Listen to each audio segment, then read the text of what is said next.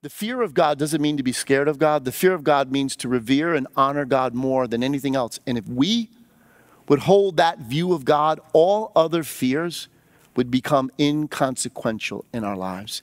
If we viewed the, and trusted what God would do, see, the way you overcome fear is faith. Trusting that God is who He said He is and that He'll do everything He's promised He would do. He just needs a channel, He needs a willing vessel to work through. When you read the book of Hebrews, Hebrews chapter 11, you recognize in each and every one, by faith, Noah, by faith, Abraham, by faith, Moses, all God needed was someone who would trust him enough to not fear what he was asking him to do, but have enough courage to follow God and believe that God was trustworthy, that what he spoke, he was fully able to perform.